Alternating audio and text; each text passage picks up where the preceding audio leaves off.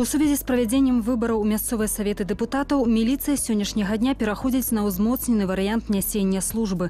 Прадугледжаныя дадатковыя меры па ахове грамадскага парадку. Арганізавана кругласутачная работа аператыўна сітуацыйных штабоў на розных узроўнях. Супрацоўнікі органаў унутраных спраў возьмуць пад кругласутачную ахову памяшканні выбарчых участкаў і забяспечаць садзейнічанне выбарчым камісіям у падтрыманні парадку.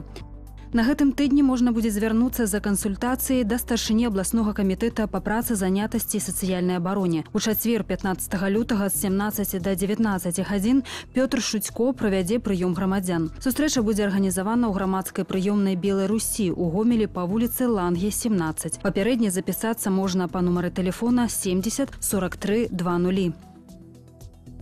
Сёння пачынаецца масленіца. Гэты тыдзень таксама называюць сырнай сядміцай. Старажытнае славянскае свята са шматлікімі звычаямі пра стагоддзе дайшло да нашых дзён. Кожны дзень масленічнага тыдня мае сваю назву, традыцыі і правілы. Напрыклад, панядзелак гэта сустрэча. У гэты дзень адкрываюцца кірмашы, рыхтуюцца месцы гулянняў, робіцца лялька масленіцы. Увогуле на працягу ўсіх сямі дзён прынята хадзіць у госці, весяліцца і, зразумела, пячы бліны. У гомелі шырокую масленіцу будуць святкаваць 18 лютага. Рыхтуюцца пляцоўкі ва ўсіх раёнах горада.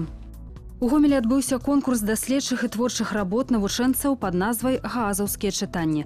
Гэта штогадовая падзея нязменнай пляцоўкай якой з'яўляецца гімназія нумер 58 імя Фёдора газа, памяці якога і прысвечана мерапрыемства.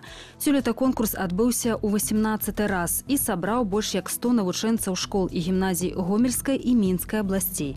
Выступленні канкурсантаў праходзілі па 10 секцыях, у тым ліку па гісторыі, грамадазнаўстве, праваслаўнай і сусветнай мастацкай беларускай культуры.